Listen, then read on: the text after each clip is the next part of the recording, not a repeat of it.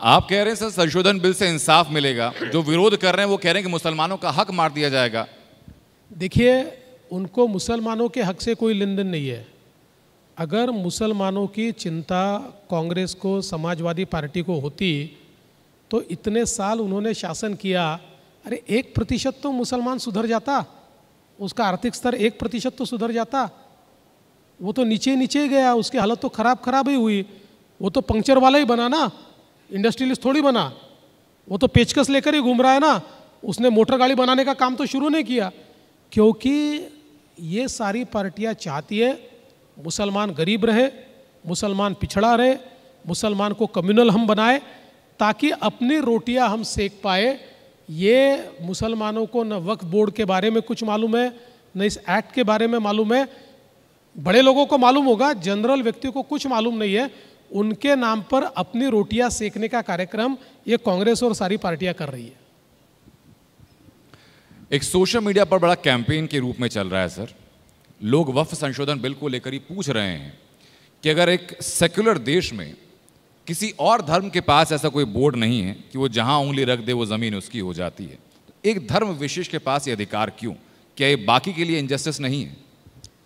देखिए बात तो ये सही है और इसीलिए हम लोग तो यूनियन मतलब यूसीसी की बात क्यों करते हम उसी लिए करते हैं क्योंकि समान तो नागरिक खत्म हो जाएगा? सम, सम, देखिए समान नागरिक कानून का अर्थ क्या है? धर्म के नाम पर अलग अलग प्रकार के कानून नहीं होने चाहिए। देश में एक कानून चलना चाहिए।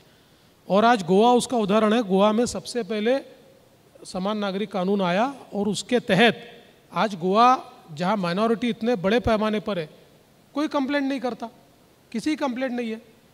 तो इसलिए हम ये मानते हैं कि केवल धर्म के नाम पर इस प्रकार के कंसेशंस लेना, ये बहुत गलत बात है। हाँ ये ज़रूर है कि किसी भी धर्म को, चाहे वो हिंदू हो, मुसलमान हो, सिख हो, कोई भी हो, हर एक को अपना धर्म वो ठीक तरीके से पाले, इसकी पूरी आज़ादी है, उनकी जो रिचुअल्स है, उसकी पूरी आज़ादी है, उनकी जो प्रॉपर्टीज़ है जो उनको बिलोंग करती है, उसको प्रोटेक्ट करना। ये भी मैं ऐसा मानता हूँ उनका अधिकार है। लेकिन कोई भी प्रॉपर्टी मेरी है, मैं उंगली रख दूँ, वो प्रॉपर्टी मेरी है। पूरा गाँव मेरा है, ये नहीं चलेगा। वफ पे सर, हम लोगों ने रिपोर्ट की तो अब दिल्ली में ऐसे कई मामले सामने आए, और हाल ही में आपने अगर सुना हो तो दिल्ली के छह मंदिरों पर वफ ने अपना दावा ठोक दिया। एक शमशान घाट भी वहाँ पर है कूड़ागर भी वहाँ पर इसमें दावा ठोका गया। हम लोगों के रिपोर्टर्स हमारे सहयोगी वहाँ पहुँचे तो वहाँ की जो कमेटी के सदस्य थे वो कागज़ लेकर तैयार थे कि प्रॉपर्टी पुश्तैनी हमारी है। वफ को चैलेंज वो कर रहे हैं। कैसे मामले महाराष्ट्र के अंदर भी हैं? महाराष्ट्र में भी ये बहुत बड़े पैमाने पर हुआ है। कई जगह पर सोलापुर जैसी जगह, सोलापुर में जहाँ लोग बैठे हुए सालों से, चालीस सालों से, एक दिन में वक्फ बोर्ड ने सारी ज़मीन अपने नाम से कर ली। और वो वो सारे बेचारे लोग अब बड़ी तकलीफ़ में तो ये सारी चीज़ें हर जगह हमको होती हुई दिखाई पड़ती है।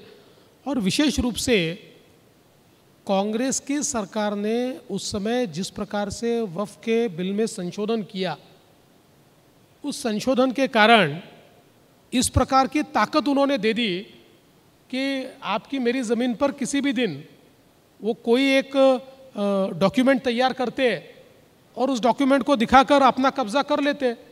तो ये बहुत गलत बात है। देखिए इसमें ट्रांसपेरेंसी होनी चाहिए और वो ट्रांसपेरेंसी लाने का प्रयास ये वक्फ का बिल यहाँ पर ला रहा है। ठीक है।